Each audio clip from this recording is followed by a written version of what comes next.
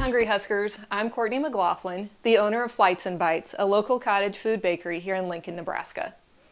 Today I'll be making Fruity Pebble cookies, one of my most popular cookies at the farmer's market. My love for baking started when I was a young child, watching and learning from my mom, competing at my local county and state fairs and winning many awards along the way. Um, from there I would bake for my coworkers, friends, family, and other people.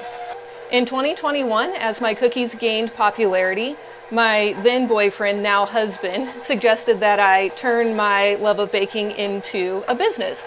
And six months later, after much planning and thinking, Flights and Bites was created. My cookies are made fresh in my home oven. Um, I have a nice convection oven that allows me to bake two trays at a time so I can make lots of cookies ready to sell at the farmer's market on Saturdays or whenever people order some from me on my Facebook page. Um, or you can send me an email or text message to order as well.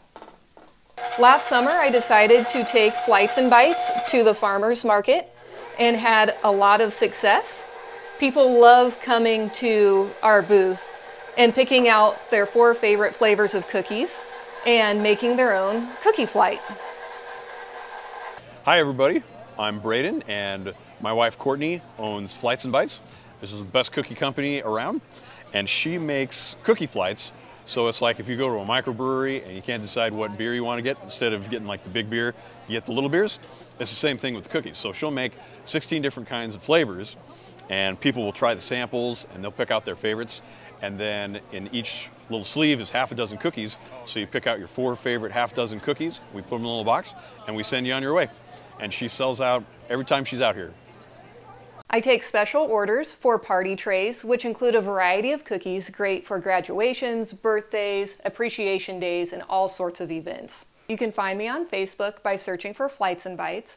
I'm also at the Haymarket Farmers Market the first Saturday of every month, as well as occasionally at the Hub Farmers Market and the Bennett Farmers Market. You can find all of that information on my Facebook page. Hey Hungry Huskers, just for you, get your $5 off coupon good for only June 3rd at the Lincoln Haymarket Farmers Market.